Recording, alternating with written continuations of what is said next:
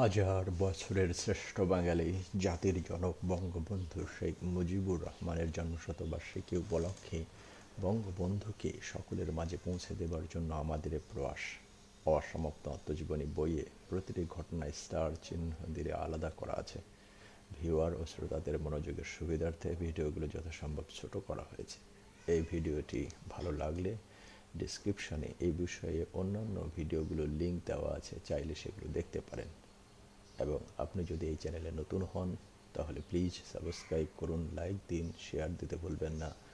ভালো না লাগলে কমেন্ট করুন আরও ভালো মানের ভিডিও উপহার দেওয়ার জন্য। পাকিস্তান হওয়ার সাথে সাথেই ষড়যন্ত্রের রাজনীতি শুরু হয়েছিল।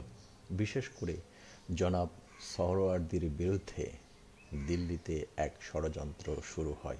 কারণ বাংলাদেশ ভাগ হলেও যতটুকু আমরা পাই, তাতেই সিন্ধু, পাঞ্জাব, সীমান্ত প্রদেশ ও বেলুচিস্তানের মিলিতভাবে লোকসংখ্যার চেয়ে পূর্ব পাকিস্তানের লোকসংখ্যা বেশি।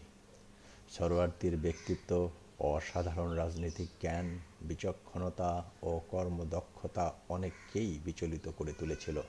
কারণ ভবিষ্যতে তিনি পাকিস্তানের প্রধানমন্ত্রী হতে চাইবেন এবং বাধা দেওয়ার ক্ষমতা কারও থাকবে না। জিন্না সরওয়ার্দিকে ভালোবাসতেন, তাই তাকে প্রথমেই আঘাত করতে হবে। এদিকে সাম্প্রদায়িক গোলমাল লেগেই আছে কলকাতায়, অন্যদিকে পার্টিশন কাউন্সিলের সভা। কংগ্রেস কলকাতায় ছায়া মন্ত্রিসভা গঠন করেছে, আর একদিকে গোপনে শহীদ সাহেবকে নেতৃত্ব থেকে নামিয়ে নাজিমুদ্দিনকে বসাবার ষড়যন্ত্র শুরু হয়েছে কলকাতা ও দিল্লিতে। পাঞ্জাব ভাগ হলো। সেখানে নির্বাচনের প্রশ্ন আসলো না।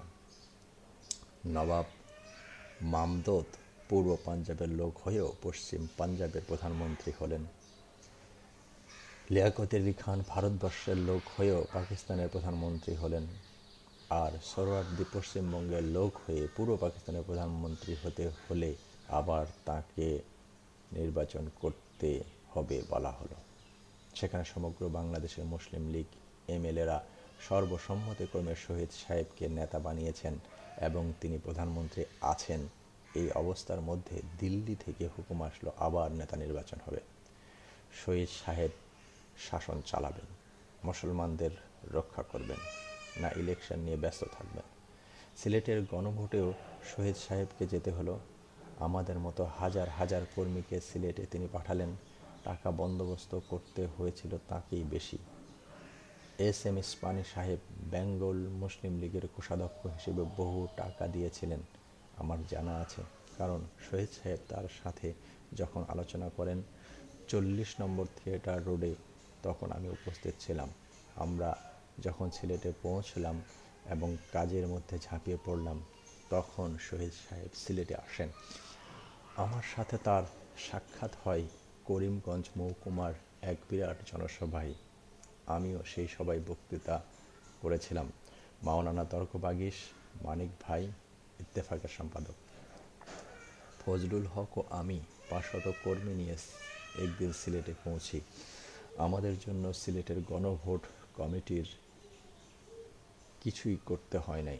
শুধু কোনো এলাকায় কাজ করতে হবে, আমাদের সেখানে পৌঁছে দিতে হয়েছে। যাবতীয় খরচপত্রের ব্যবস্থা শহীদ সাহেব করে দিয়েছেন। কারও মুখাপক্ষে আমাদের হতে হবে না। শামসুল হক সাহেব ঢাকা থেকেও বহু কর্মী নিয়ে সেখানে পৌঁছেছিলেন। শহীদ সাহেবের অনুরোধে দানবীর রায় বাহাদুর আর পি সাহা হিন্দু হয়েও কয়েকখানা লঞ্চ পাঠিয়ে দিয়েছিলেন। এই লঞ্চগুলো ব্যবহার করা হয়েছিল মুসলিম লীগ কর্মী ও পাকিস্তানের পক্ষে, কারণ যানবাহন খুবই প্রয়োজন ছিল।